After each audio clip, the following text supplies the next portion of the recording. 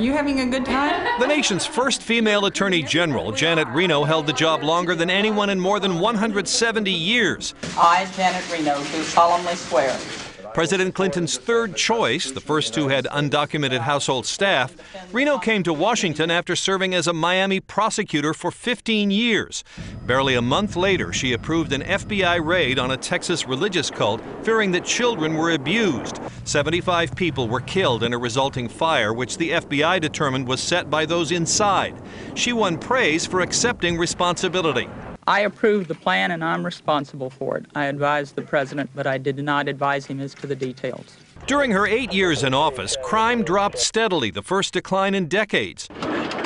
She championed drug courts and programs to keep young people off the streets.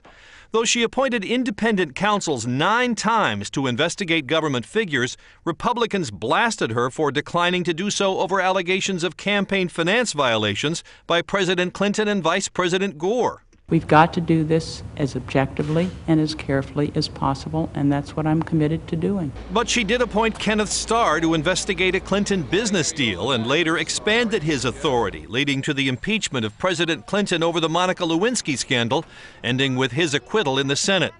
Reno was also criticized for her role in the saga of a Cuban boy, Elian Gonzalez, who came to the U.S. in a boat with his mother, who died on the way. Reno determined that he should be given back to his Cuban father and ordered federal marshals to seize him from the home of relatives. I have no regrets whatsoever. I tried my level best to make sure that we avoided this situation. Because of her plain speaking, openness about her Parkinson's disease, and aversion to the ways of Washington, she was a popular figure. Repeatedly parodied on Saturday Night Live, she got the last laugh. It's Reno! She left Washington in 2001, saying she wanted to tour the country in a brand new pickup truck, narrowly losing Florida's Democratic primary for governor a year later, ending a life in public service that she said was dedicated to the rule of law.